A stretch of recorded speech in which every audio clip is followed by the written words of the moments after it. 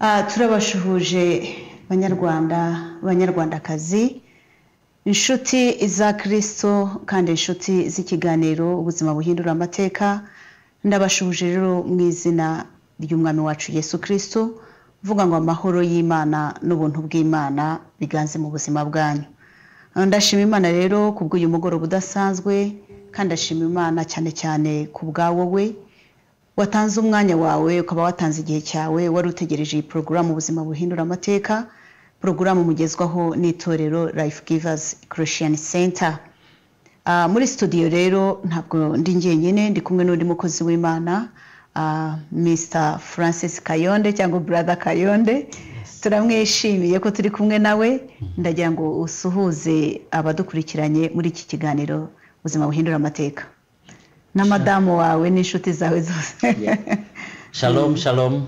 Ah, turabashuhuje mu izina ry'umwami wacu yesu kirisito nitwa francis kayonde nk'uko umushumba wacu pasita Jore abivuze. Twishimiye ko murimo gukurikira iyi- porogaramu y'ubuzima buhindura amateka. Murakoze cyane. Amen. Turashima imana rero inshuti zacu aho muri hose. Uyu munsi wa none turashaka gukoresha ururimi rw'ikinyarwanda twigisha. Hanyuma ndi kumwe n'umukozi w'imana turaza kuba dufatanya asoma ijambo ry'imana kugira ngo ushobore gukurikirana. Ah, ariko muri aka kanya ndagira ngo dusenge imana twakire kubaho kw'imana mu buzima bwacu twakire kubaho k'umwuka w'imana aho turi kuko imana ni byose mu buzima bwacu. Reka dusengane nawe muri aka kanya mu izina rya yesu. Data mu izina ry'umwami wacu tuje imbere y'amaso yawe mu izina rya yesu turagushima kubw'abanyarwanda bose bicaye imbere y'iyi porogaramu imbere ya televiziyo kugira ngo bashobore gukurikirana iki kiganiro ubuzima buhindura amateka. Ikiganiro harimo ijambo ryawe rihindura amateka y'ubuzima bw'abantu. Ndasenga rero nsengera buri umwe wese udukurikiranye kuri uyu mugoroba kugira ngo ubuntu bwawe n'amahoro yawe n'imbaraga zawe bimanukire ubuzima bwe kugira ngo mwami ufashe buri umwe wese aho ari. Ijambo ryawe rifate ku mutima we ijambo ryawe rihindure ubuzima bwe ijambo ryawe rikora akazi gakomeye mu bugingo bwabo kandi ndagushima no kubw'igihugu cyacu cy'u rwanda ngushima ku bwa leta nziza waduhaye ngushima ku bw'abayobozi beza waduhaye ngushima no ku cyerekezo cyiza abanyarwanda twese turimo kugira ngo dushobore kubaka igihugu cyacu. Duhana umugisha twese n'uwubabaye uyu mugoroba mwami yumva iri jambo ubuzima bwe buzamuka ubuzima bwe yongere agire ibyiringiro kandi ubuzima bwe buhinduke. Dusenze twizeye kandi tuzi yuko udukoresha nk'uko buri gihe cyose udukoresha tuvuga ijambo ryawe mu izina rya yesu. Amen. Amen. Imana yacu rero ihabwa icyubahiro ubuteze uwukurikirana kuri isango tv ni pasita Jure murenzi Ah, inshuti yawe kandi inshuti ya kirisito aha rero ni mu kiganiro ubuzima buhindura amateka ariko mbere ya byose ndashaka twese nk'abanyarwanda nongere mbakomeze ndabakomeza kandi mbashimira. Ah, ku nshuro ya makumyabiri na gatanu twibuka nanone jenoside yakorewe abatutsi mu gihugu cyacu. Turashima imana ku bw'urugendo tumaze kugenda nk'abanyarwanda kandi turashima imana ko twese amaboko yacu ariyo maboko y'igihugu. So ni byiza kugira ngo dukomeze twiyubake ni byiza kugira ngo dukomeze tugire ibyiringiro ariko nanone muri iki gihe tuba tugezemo nk'abanyarwanda aba ari byiza kugira ngo dusubize amaso inyuma twibaze ibibazo byinshi tubishakire ibisubizo kandi dufate n'ibyemezo byiza by'ubuzima bwacu. So turashima imana rero kubera yuko imana ni imana nziza igihugu cyacu kirarushaho gutera imbere abanyarwanda turarushaho guhinduka umuntu umwe no kubana ariko hari byinshi mu buzima bwacu tugomba gushyiraho amaso yacu tugakosora kugira ngo imana irusheho kuduha umugisha. Ah, uyu mugoroba rero hari ijambo imana yashyize ku mutima wanjye nshaka kugira ngo mvugane nawe. Ni ijambo rivuga ngo umugisha uturuka mu kwihana ndetse no mu kubabarira. Ayo magambo dukunze inshuro nyinshi kutayitaho cyane cyane ijambo ryo kwihana. Ijambo ryo kwihana aba cyane cyane abana b'imana turyibuka cya gihe bavuze bati ntihagire uwihana aze yakire kirisito mu buzima bwe ubuzima bwe kugira ngo buhinduke. Ariko kwihana harimo umugisha ukomeye. Harimo umugisha mu kwihana tutajya dutekereza.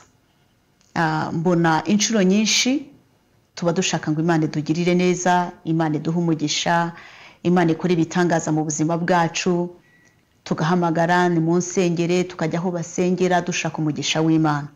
Ariko ndashaka kuvugana nawe ku bintu bibiri by'ingenzi bikingura umugisha w'imana ukaba mu buzima bwacu.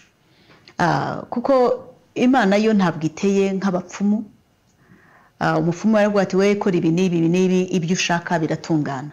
Ariko imana yo dusenga ise wa yesu kirisito uwo twizera ni imana ifite amahame. Ifite amahame ifite principles. Amahame yayo rero iyo uyahagazemo ukayumvira ukayagenderamo umugisha w'imana uza ku buzima bwawe.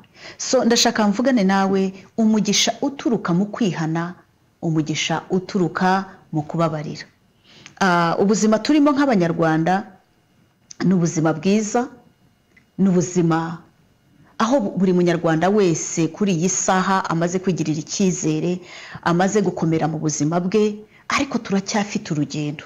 Turacyafite urugendo nk'igihugu turacyafite urugendo nk'abanyarwanda.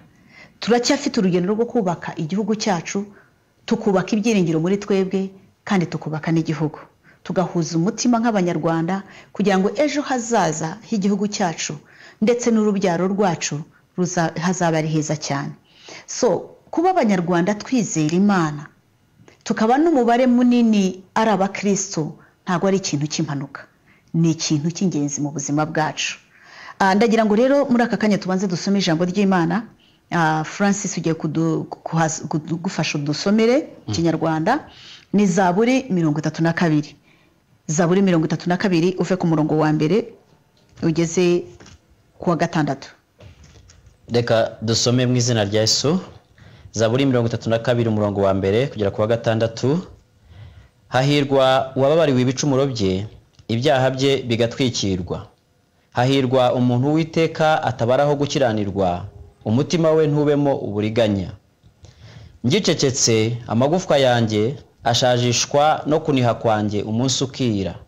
Kuko ukuboko kwawe ku manywa na nijoro kwandemereraga ibyuya byanjye bigahinduka nk'amapfa yo mu cyi nakwemereye ibyaha byanjye sinatwikiriye gukiranirwa kwanjye.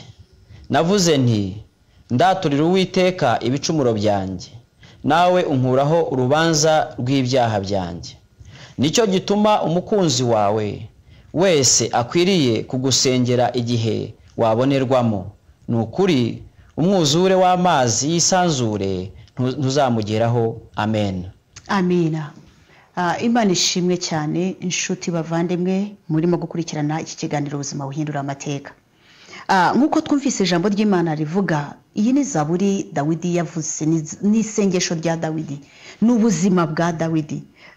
Zaburi nyinshi iyo tureba muri bibiliya zanditswe na dawidi. Ariko dawidi yandika izi zaburi zari experience y'ubuzima bwe.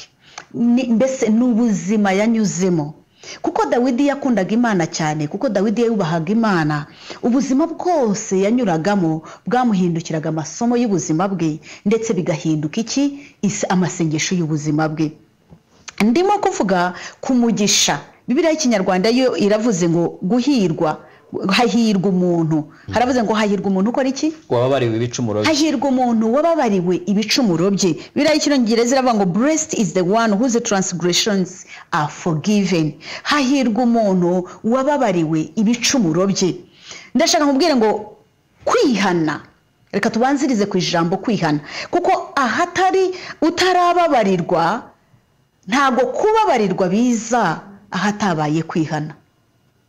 Niyo mpamvu kwihana bibanziriza kubabarirwa. Iri jambo abenshi mu mitima yacu ni ijambo tudaha agaciro. Ntabwo kwihana tubiha ikintu cy'agaciro. Ari na yo mpamvu ubuzima bwacu iyo tutabayeho mu buzima bwababariwe cyangwa mu buzima bwihannye tukihana ibicumuro byacu. Nk'uko ijambo ry'imana rivuze ngo hahirwa umuntu wababariwe ibicumuro bye kandi bikagenda bite? Hahirwa umuntu wababariwe ibicumuro bye kandi bigatwikirwa. Imana mu bushake bwayo ntabwo ishaka yuko tubaho mu buzima aho ibyaha byacu bidatwikiriwe. Ntabwo imana yifuza kukubona kuko waremwe mu ishusho nziza cyane. Waremwe mu ishusho y'imana.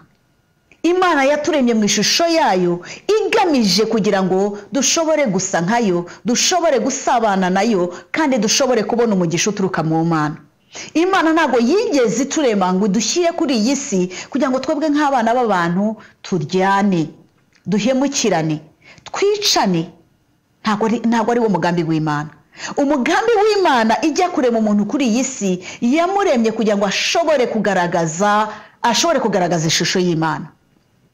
Sasa icyaha uburiganya mu mitima yacu icyaha ni iki? Icyaha ni ugu- ni ugutandukana n'ubushake bw'imana. Ni ugukora ibihabanye n'iby'imana ishaka ni ugukora ibihabanye n'iby'ijambo ry'imana rishaka mu buzima bwacu.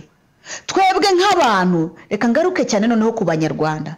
Twebwe nk'abanyarwanda hari impamvu twitwa abanyarwanda? Ni ukubera iki gihugu cyacu turimo? Imana yaduhaye. Iki gihugu kitubumbiye hamwe twese nk'abanyarwanda. Iki gihugu ni cyo twitirirwa nk'abanyarwanda. Umugambi w'imana ku banyarwanda rero ni uko abanyarwanda twahinduka umuntu umwe. Ni uko bya macakubiri ari mu mitima yacu ariyo ya- ya- ya- yatugejeje mu mateka atari meza twibuka buri mwaka tukibuka kugira ngo tutibagirwa. Mu by'ukuri ibyabaye muri iki gihugu cyacu guhemuka. Turi abanyarwanda turi ubwoko bumwe. Tugahemukirana. Abatutsi bakicwa. Jenoside ikabakorerwa. Ntabwo ariko byakabaye byarabaye. Kuko twese turi abantu. Imana yaremye mu ishusho ya- yayo. Ariko icyaha icyo gikora kikwereka yuko uriya mudasa kikwereka yuko uriya mutameze kimwe. Icyo ni icyaha kiri mu mitima y'abantu gishobora gutuma imana idashobora kuduha umugisha nk'uko twifuza umugisha. So kwihana rero bituma tubabarirwa. Kwihana bituma imana ikuraho ibicumuro byacu. Kwihana bituma imana itwikira bya bicumuro byawe. Ndashaka mvuge mbere na mbere ntaravuga ku kubabarirwa. Kuko imbabazi zo zirahari. Imbabazi zihoraho. Imana yacu ni imana y'inyembabazi. Kandi iyo imana ibabariye nta n'umuntu ufite n'ububasha bwo kutababarira uwo ari we wese. Niyo mpamvu nshima ku bwa leta y'u rwanda. Ndashima ku bwa leta y'u rwanda ishobora yashyizeho uburyo n'abakoze ibyaha n'abakoze jenoside bashobora kuba bababarirwa. Uyu munsi wa none nta munyarwanda ushyirwa ku karubanda ngo yicwe araswe kubera yuko yakoze jenoside. Nibyo koko? Babona ibihano byabagenewe. Ariko ibihano barabirangiza. Bikaba ngombwa yuko bagaruka mu buzima busanzwe. Ndavuga ngo izo mbabazi nta handi wazibona. Uretse imana yonyine itanga imbabazi zigeze aho ngaho. Ndashaka rero mvugane n'ubuzima bwacu nk'abanyarwanda. Tugenewe kubana mu mahoro. Ndetse no mu ngo zacu no mu miryango yacu. Tugenewe kumenya yuko imana ikintu kiyinezeza ni ukwihana ibicumuro byacu. Ni ukudatwikira ibicumuro byacu. Turi mu kinyejana aho n'abitwa abakirisitu uyu munsi wa none. N'abari mu nsengero uyu munsi wa none batwikira ibicumuro batwikira ibyaha byabo. Ariko ijambo ry'imana riravuze ngo hahirwa umuntu utabarwaho iki? Ibicumuro bye. Ibicumuro ni iki ibicumuro ni ikintu icyo ari cyo cyose ni ikintu icyo ari cyo cyose gihabanye n'ukuri kw'ijambo ry'imana yifuza mu buzima bwawe. Umugambi w'imana ku buzima bwawe. Mbese imana iturema ikadushyira kuri iyi si yari igamije iki? Turakibona mu itangiriro igice cya mbere. Imana irema umuntu. Murongo wa ma- wa makumyabiri na gatandatu. Imana irema umuntu. Imana ivuga ngo reka tureme umuntu mu ishusho yacu. Ase nkatwe. Amere nkatwe.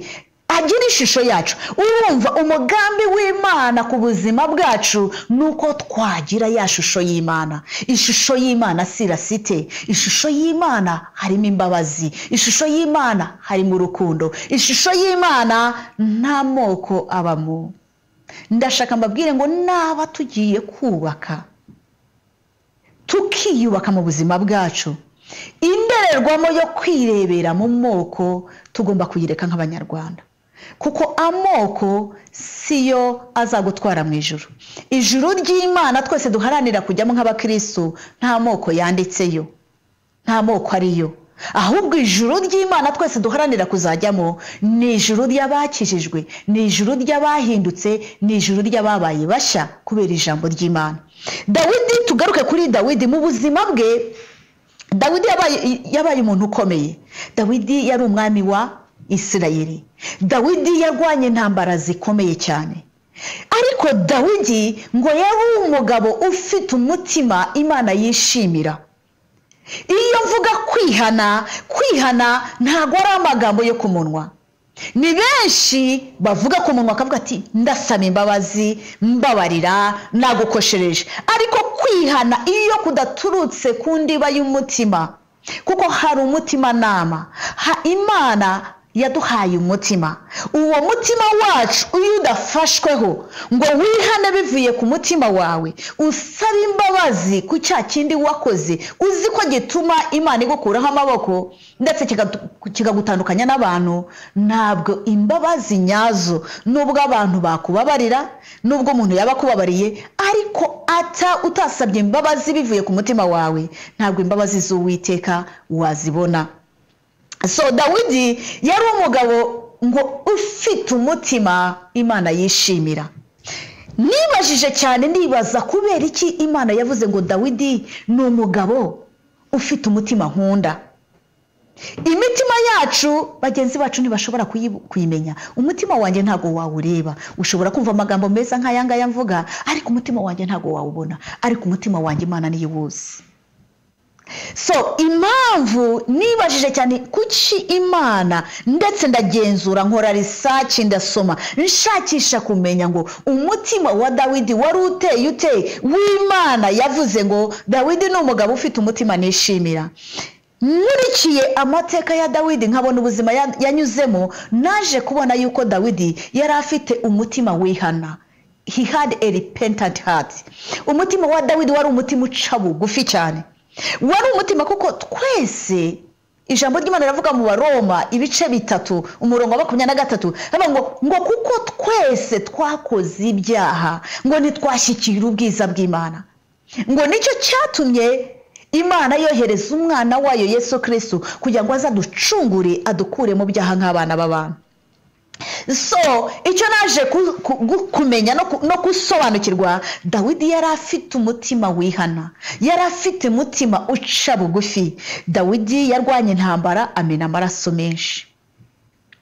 Ariko nubwo yamenye amaraso ntabwo bimwe yabaga bigendereye. Ariko dawidi hari icyaha yigeze gukora kibi cyane.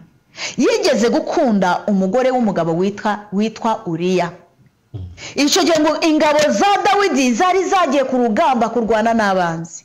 Dawidi nk'umwami yasigaye mu bikari bye ngo arasohoka asohotse agiye hanze arimo kureba ubwami bwe aza kubona umugore wa uriya umwe mu basirikare be bakomeye mu bayobozi be arimo kwiyuhagira ngo dawidi aramureba yumva amurarikiye dawidi amaze kumurarikira aryamana nawe amaze kuryamana n'umugore wa uriya amutera inda.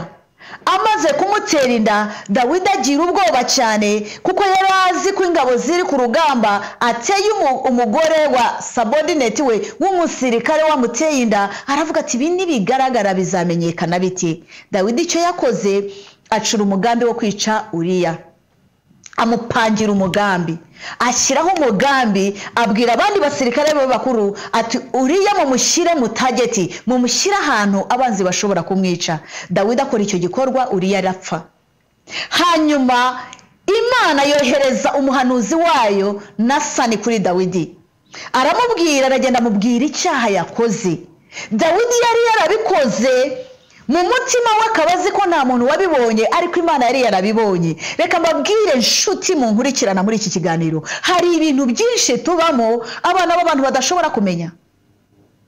Uyu munsi wa none turacyafite ingaruka za jenoside yakorewe abatutsi muri iki gihugu cyacu. Uyu munsi wa none hari abantu bagifite ibikomere bibisi.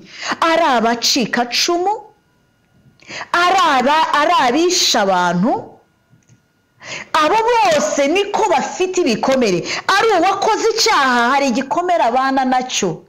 Ndakubwiza ukuri uwakoze icyaha umunyabyaha ni we uba ufite igikomere kibi cyane no kurenza uwo yakoreye icyaha.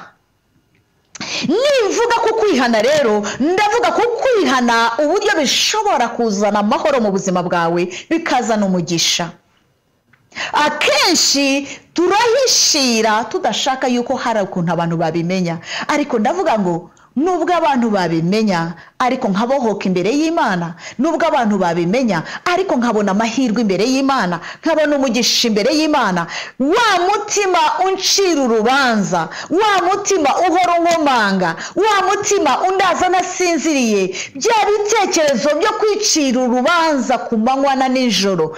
Ibyo bikanshiramo. Nta kindi gishobora kudukiza imitima nk'abanyarwanda ni ukugira ukuri mu buzima bwacu. Ni ukugira ukuri mu buzima bwacu. Impamvu twibuka ni iyihe? Turibuka kugira ngo ibyatubayeho bitazongera kuzaba muri iki gihugu cyacu.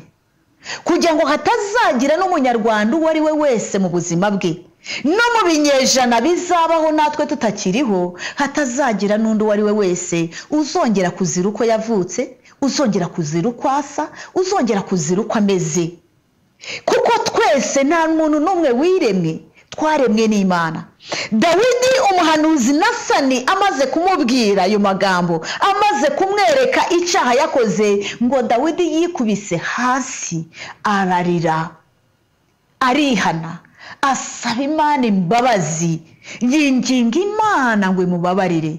Uburyo ureba ubonamo icyaha wakoze ukamenya ko wahemutse imbere y'imana kandi wahemukiye n'abantu icyo ni cyo gituma uca bugufi ukihana ibyaha byawe. Uyu munsi wa none yaba habagaho kwihana nyakuri mu mitima yacu nk'abanyarwanda. Ntabwo twakabaye tugifite ibibazo muri iki gihugu. Abanyarwanda buri munsi tujya twumva ukumva ngo hano umugabo yishe umugore we. Tekereza ubwo buzima. Umugore yishe umugabo we. Ubwo buzima kuba bucyumvikana ni uko abanyarwanda. Twahisemo kutamenya yuko kwihana ari ingenzi mu buzima bwacu. Buriya iyo umuntu atihannye bimutera gukora ibindi byaha. Iyo umuntu adahisemo kuko kwihana ni ukubohoka iyo watuye ibyaha byawe ugasaba imana imbabazi urabohoka kandi ukabona umugisha w'imana mu buzima bwawe. Niyo mpamvu dawidi yavuze ahangaha yavuze ati hahirwa umuntu wababariwe ibicumuro bye kandi agakora iki? Ibyaha bye bigatwikirwa. Ibyaha bye bigatwikirwa. Reka nkubwire. Dukorera umwami utwikira ibyaha byacu. Kandi akibagiza ibyo twakoze byose. Ariko ibyaha byacu kugira ngo bitwikirwe ndetse n'imana ibibabarire ndetse n'abantu babibabarire tugomba gushirika ubwoba hagomba kuba gushirika ubwoba ugomba gushirika ubwoba mu mutima wawe ugashirika ubwoba bwo kwihana. Reka buriya kwihana si ubugwari ahubwo kwihana ni ubutwari. Dawidi imana yaramukundaga kuko yari intwari mu kwihana. Yarihanaga. Yarihana yarihanaga yasabaga imbabazi yaririraga imana yaciraga bugufi imana. Iyo utinya imana ukihana imana ibohora ubuzima bwawe. Ndashaka urebe ku murongo wa kabiri. Ku murongo wa kabiri tuhasomeza buri mirongo itatu na kabiri umurongo wa kabiri. Umurongo wa kabiri avuga ngo hahirwa umuntu w'iteka atabaraho gukiranirwa. Hahirwa umuntu uwiteka atabaraho gukiranirwa. Ushobora kuba imbere y'abantu usa neza. Imbere ya madamu wawe ushobora kuba usa nk'aho uri umugabo w'umwizerwa imbere y'umugabo wawe ushobora kuba uri umwizerwa.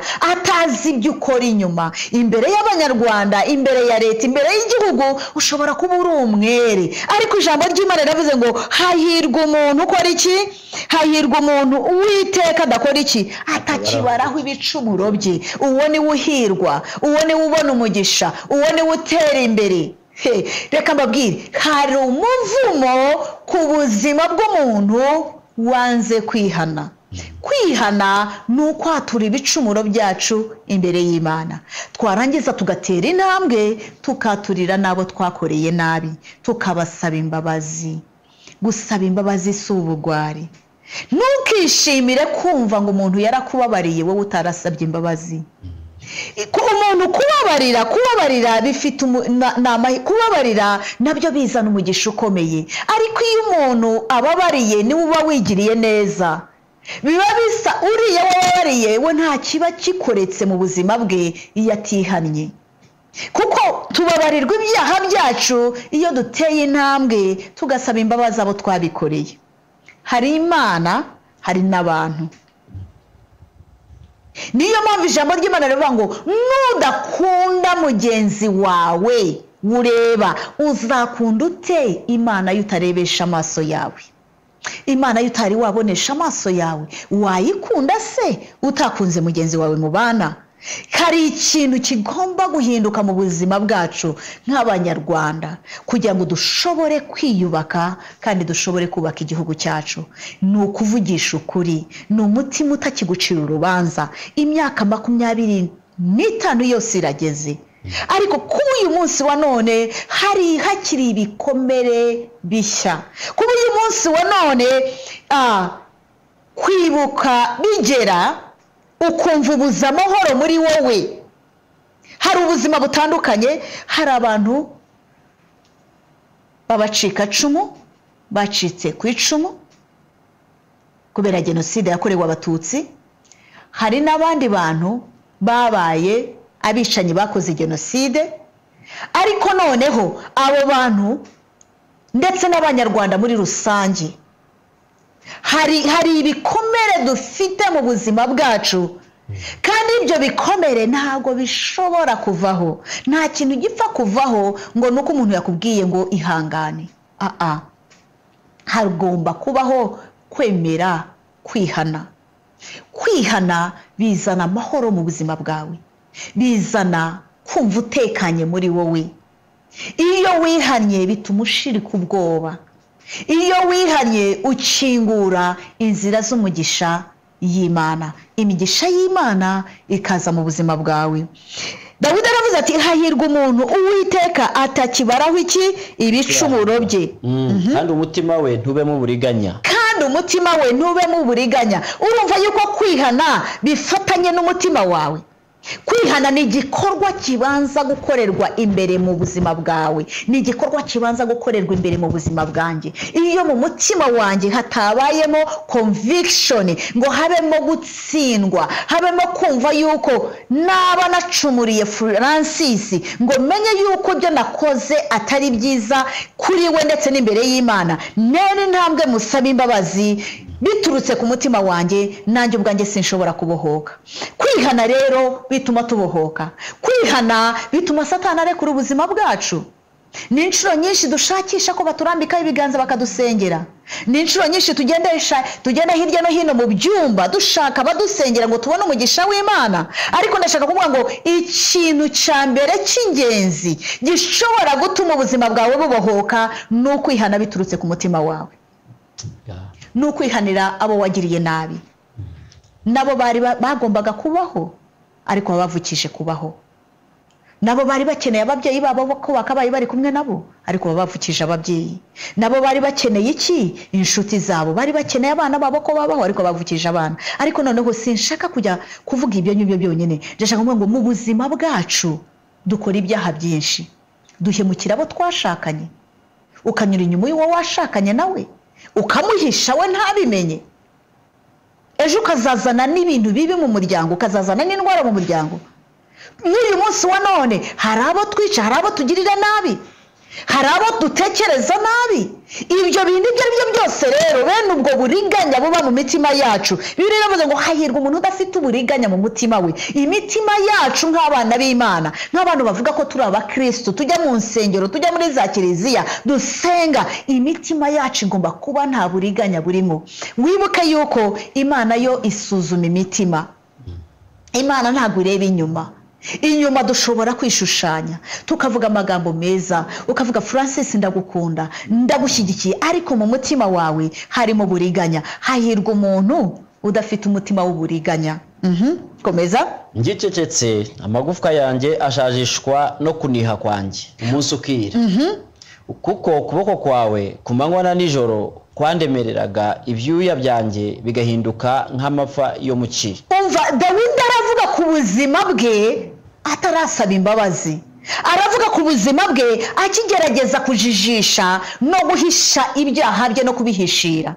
Aravuga ku buzima bwe atararekura ngo yirekure ashobore gusaba imana imbabazi. Aravuga ati naracecetse. Ongera uhasome bumve. Ngicecetse. Ngicecetse. Amagufwa yanjye. Amagufwa yanjye. Ashajishwa no kuriha kwanjye. Ngicecetse. Amagufwa yanjye yashajishijwe n'umuniho wo mu mutima wanjye. Iyo umuntu afite ibintu ahisha muri we asaza imburagihe. Amagufwa ye aribwa imbere. Kimera nk'ikimungu kiri mu magufwa ye. Kutihana kudaca bugufi ngo wihane wumve ko ukeneye gusaba imana imbabazi no gusaba abantu imbabazi no gusaba mugenzi wawe imbabazi bimera nk'ikimungu mu magufwa y'umuntu. Dawidi aravuze ati naracecetse mu yandi magambo nanze kwihana nanze kwatura ariko uko narushagaho guceceka uko narushagaho kwiyumanganya amagufwa yanjye mu magufwa yanjye narushijeho gukora iki? Narushijeho amagufwa yanjye ashajishwa no kuniha. Amagufwa yanjye kubera agahinda kubera kwicira urubanza kubera kubura amahoro muri njyewe amagufwa yanjye yaru- ya- yarushijeho gusaza. Reka mbabwire icyaha ni kibi gutwikira icyaha ni bibi. Amaraso ya yesu kirisitu yonyine niyo atwikira ibyaha byacu imana ntiyongere kubibona. Ariko wowe gutwikira ibyaha byawe kubihisha kutemera gusaba imbabazi nta mugisha w'imana ushobora kubona. Nta buntu bw'imana ushobora kubona. Aha murongo wa kane. Kuko ukuboko kwawe ku manywa na nijoro. Kuko ukuboko kwawe ku manywa na nijoro. Kwandemereraga. Kwarandemereraga ibyuya byanjye bigahinduka nk'amapfa yo mu cyi ndetse n'ibyuya byanjye tekereza ukuboko k'uwiteka that is conviction. Urumva muri twese nk'abantu imana niyo mpamvu abantu bavuga ngo imana ntayiriho ntiyaremye ndabababarira. Kuko imana yaduhaye umutimanama yaduhaye umutima imbere muri twebwe. Niyo wacumuye nubwo waba udakijijwe nubwo waba udasenga iyo wacumuye ugakora icyaha hari conviction hari ugushinjwa mu mutima wawe wumva. So dawidi aravuze ati ku manywa na nijoro numva ku kuboko kwawe kundemereye. Ibyo wumva bikubamo ukumva nta mahoro ufite. Ukumva nta mahoro ufite ukumva nta byishimo ufite ukumva wabuze amahoro ukumva wabuze ibyicaro. Ha, hari n'abantu bamwe iyo bazi ngo igihe cyo kwibuka kigiye kugera bava mu gihugu bakagenda kuko baba bumva nta mahoro bashobora kugira. Ibyo byose biterwa n'iki? No kutihana iyo umuntu yatuye akihana abona umugisha w'imana abona umugisha wo kubabarirwa. Umurongo wa gatanu aravuga ngo i acknowledged my sin. Hmm? Mm, nakwebereye ibyaha byanjye. Ariko natuye ibyaha byanjye. Iyo biriya y'ikinyarwanda yavuze ngo nakwemereye ibyaha byanjye. Ni ukwatura nakwaturiye ibyaha byanjye. Sinatwikiriye gukiranirwa kwanjye. Sinatwikiriye gukiranirwa kwanjye. Naravuze nti ndaturira uwiteka ibicumuro byanjye. Naravuze ngo ndaturire uwiteka ibicumuro byanjye. Nawe unkuraho urubanza. Nawe unkuraho urubanza. Bw'ibyaha Ima- byanjye. kubw'ibyaha byanjye. Imana yacu ishimwe cyane. Iyo watuye ibyaha byawe imana igukuraho urubanza. Iyo imana igukuyeho urubanza n'abantu nta mbaraga baba bagifite yo kugushyiraho urubanza.